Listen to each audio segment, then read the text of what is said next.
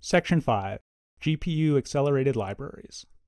In addition to the basic CUDA framework, NVIDIA provides various libraries for deep learning, linear algebra, signal, image, and video processing, and parallel algorithms. By using these libraries, you can build GPU accelerated applications quickly without having to write everything from scratch. In this section, we'll take a brief tour of these libraries.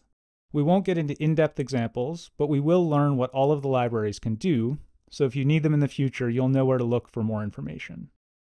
Deep learning. Deep learning is an approach to machine learning that uses multiple layers of neural networks to extract features from raw data. It can be used to solve problems in computer vision, natural language processing, machine translation, bioinformatics, and many other fields. Implementing these neural networks requires a lot of matrix operations, which can be sped up significantly by using CUDA. NVIDIA provides several libraries to accelerate deep learning tasks. NVIDIA has also developed specialized hardware which provides even greater performance and power efficiency benefits for deep learning tasks. These are called tensor cores, and they're included on some of NVIDIA's Tesla and Quadro GPUs, specifically the Tesla Volta and Turing hardware architectures. Tensor cores implement a matrix multiply and accumulate operation for 4x4 mixed precision matrices. That means, for example, that they multiply 16-bit floating point matrices and accumulate the results into a higher precision 32-bit matrix. Using tensor cores speeds up matrix multiplications by a large factor compared to standard CUDA hardware. All of NVIDIA's deep learning libraries can take advantage of tensor cores if you have them. The deep learning libraries don't ship with the CUDA toolkit. In order to download them, you have to sign up for NVIDIA's free developer program. You can sign up at this web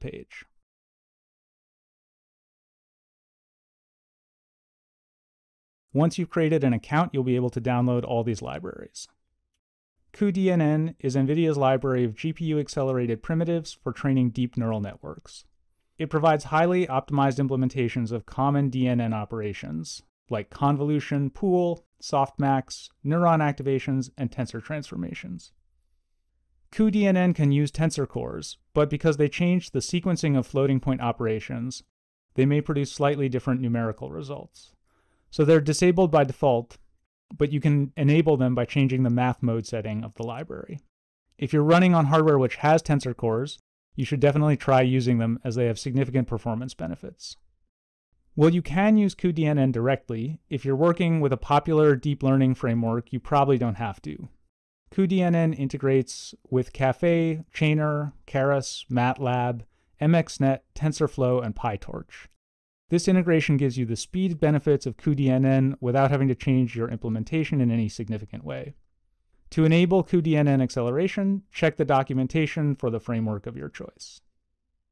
TensorRT is NVIDIA's library for deep learning inference. It can import models built by various deep learning frameworks, optimize them, and run them on the GPU, providing as much as a 40 times speedup over CPU-only implementations. TensorRT includes both a C++ and a Python API. The TensorRT developer guide has step-by-step -step instructions for getting up and running with either API.